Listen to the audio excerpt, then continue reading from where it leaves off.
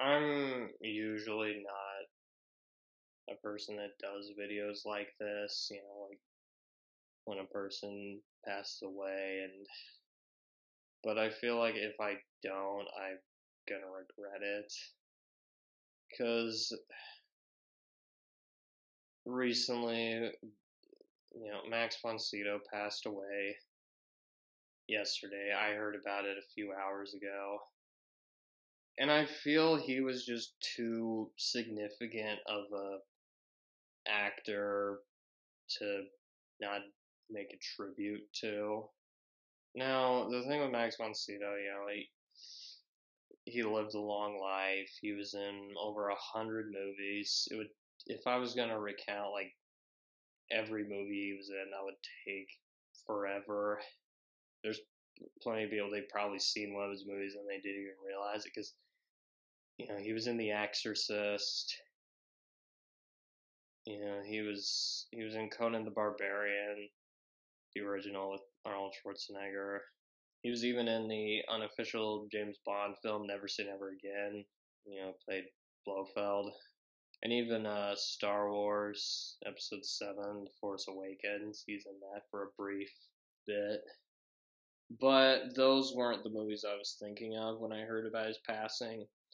The first movies I thought of were his films that he did with the famous Swedish director Ingmar Bergman, especially you know Seventh Seal, especially considering how much that movie deals with death and stuff. You know that was one of the first movies I thought of when I heard he passed away. And I guess I'll start with that one. You know, I'm just gonna talk about some of his movies. You know, because because the thing with Bergman is, I think his films are amazing. I think his films are excellent, but I, I don't know how I would be able to do his films justice because they're just.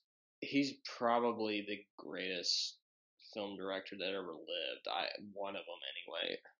Maybe I should just do a video on Bergman at some point, but I, I if I start talking about Bergman, I'm gonna lose the point entirely. But he was in Max von Sydow. He was in some movies directed by Ingmar Bergman, who if you ask me, one of the greatest directors that ever lived. And the first movie I saw Bergman's was Seventh Seal, which starred Max von Sydow. He plays a character, a knight, who is just wandering around just aimlessly, doesn't know what he's gonna do. You know, he's like lost his faith in God. You know, that's one of the main that's one of the things with Bergman's films is they're very existential. They're very like a lot of them are very depressing too. Like they deal with very deep, heavy themes. And Seventh Seal is his most famous film. You know, it's probably the most iconic film he made because of just all this. Because the thing most people remember about the film is the iconic scenes of Max von playing chess with death. You know, it's one of the most referenced in film history, probably, at least in terms of international films. And it's a very, very deep movie. Like very like because it it talks a lot about death and also a lot about life too. You know, it's about it's about death as much as it is about life. You know, and it's very beautifully shot too. Max von C- Max von Sydow, he's great in the film as well it's not my favorite Bergman film or my favorite Max von Sydow film, but it's definitely a movie that if you haven't seen it, you should definitely see because it's like it's like one of the most famous international films like ever made, and one of his best films, one of his best performances, uh, The Virgin Spring, which that's a really dark film. Probably I don't know if it's because uh, that's the thing with Bergman. Like his films are a lot of his films are very, very bleak, very dark, and that is what that one. I don't know if it's the most. I don't even know if it's the most shocking either, but it's very shocking. You know, there's a rape scene in it. You know, that's the main plot of the movie is about these two sisters. They're trying to go to church. You know, they're like walking to church, and then they end up meeting some hooligans in the woods that harass them. And Max von Sydow, he their father. He finds out about it. There's this really great scene of him getting ready to go gets ready to like go get these guys, and there's like this really cool scene with him in a tree. He's like pushing on the tree and like kind of like he's wrestling with the tree almost. It's really it's a very beautiful shot too. Like I I I, I don't know if I want to spoil it though, like because but the ending to that film is also really excellent. It's one of I think it's one of Sydow's best performances because you just feel his despair just over what happened to his you know to his daughters and the stuff they went through and it's it's a very intense movie. It's but it's very beautifully shot too. Hour of the wolf that was another really great ingmar bergman film. Hour of the wolf was again another one of his best performances. He is he's this artist who draws a lot of sketches and he like lives with his wife, played by the great Liv Ullmann, and they just they they live in their little shack out in the middle of like nowhere, and the movie is just over the course of it, he just becomes more and more mentally unsound, like as it progresses. A lot of people consider it Bergman's horror film, which I I, I don't know if I'd call it a horror film. It's definitely intense and very psychological. I don't know if I'd call it a horror film. There's definitely elements of horror in there. Like I remember this really there's a, some disturbing imagery in it, but I don't know if I'd call it a horror film. I'd call it great, definitely. That was like that was one of the Bergman films I remember impressing me the most when I first saw it. And I remember thinking it this this is one of the best movies I've ever seen. Then I saw Persona not long afterwards, and Persona might be the best film I've ever seen. Not even kidding. It it could very well be the best one I've. But I'm not going to talk about Persona because that would take a whole other that would take a whole other video, and I don't think I don't think Max von Sydow is in it either. So for me though, I think my favorite film that Max von Sydow made, uh, it's also up there in terms of Bergman films as well. Shame. Shame was it's a war film, except it doesn't really focus much on the conflict itself, like why the war is being fought. It's very, very ambiguous, which I like. About it's about Max von Sydow and his wife, played by Liv Ullmann. They live in you know in their house. They're musicians. You know they play the violin occasionally, and they're just caught in the middle of this struggle. You know all the all the houses around them are destroyed, and it's just the whole movie. They're just trying to get away from this like conflict that's going on, and they just no matter how hard they try, they just cannot escape. They're just trapped there and the imagery in the film it's it's very depressing. It's very very emotional, and the acting is just outstanding from everybody. It's and you just feel so bad for these people too, for Max Sydow and Liv Ullmann. They're just, you know, they're just trying to live their own quiet life, and they just can't. You know, there's a great scene where they're like back to their farm and like trying to like fix up the yard and stuff and they just start yelling at each other and it's just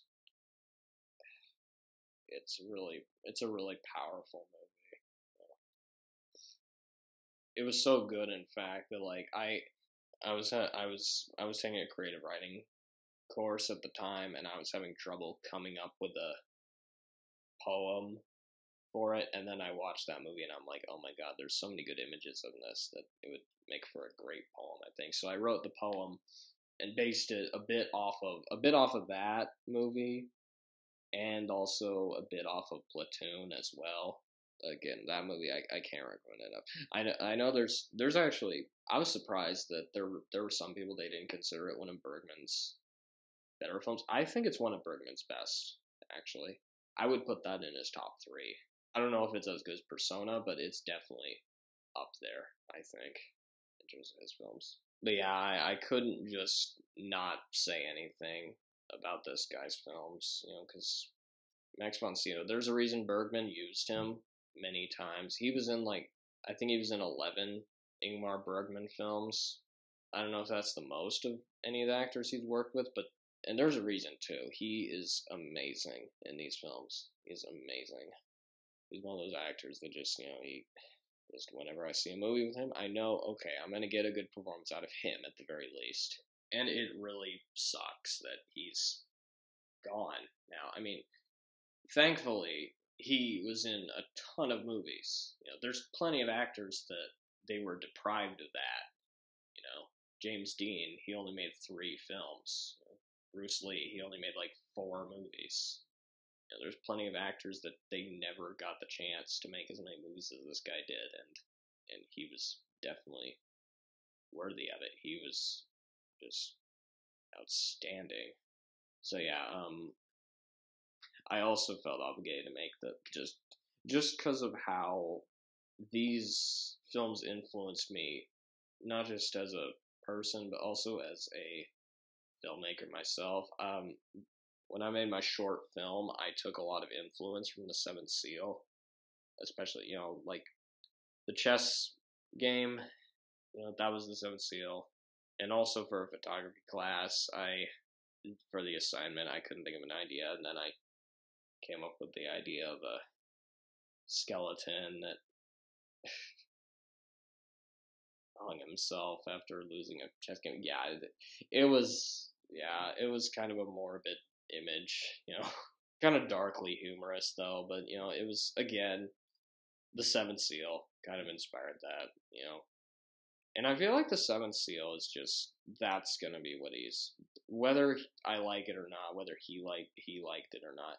That was probably to be the film that he was remembered for the most, especially now that he's you know dead in that film. One of the main characters is death, and and that's basically like what the movie's about. Like, I mean, it's unavoidable now. You know, I don't know what else to really say. I mean, the guy he had had an impact on me, definitely. Very well regarded by his peers. I mean, again, like I mentioned, there there's a reason Bergman used him so many times. You know, same with Liv Ullmann. And it makes me sad too, because like a lot of these very wonderful actors are you know they're no longer with us you know because we also lost uh, Bibi Andersson last year you know another wonderful actor that worked with Ingmar Bergman. Bergman himself he's been dead for a while you know. Basically what I'm saying is like definitely watch some of these movies definitely uh and I know I probably I probably rambled during most of this, but I I guess I'll just leave with a clip from the Seventh Seal. You know, I mean, I can't think of anything better to do. You know, and I think that's just the most fitting. Because, like I said, Seventh Seal is not my favorite Bergman film. It's not my favorite Max von Sydow film. But when I heard he died, it was the first one I thought of. It was the first thing I thought of because again, the imagery I think goes with it very well, and it just makes the most sense to just include a clip from that. Vem är du? Jag är döden. Kommer du för att hämta mig? Jag har redan länge gått vid din sida. Det vet jag. Är du beredd? Min kropp är rädd. Inte jag själv.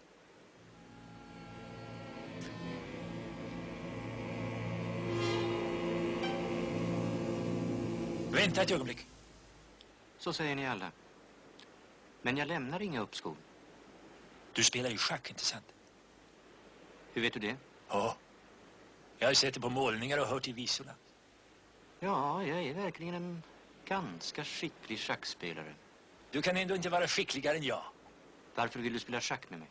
Det är min sak. Det har du rätt i. Villkoret är att jag får leva så länge jag står dig emot. Spelar jag dig matt, förger du mig.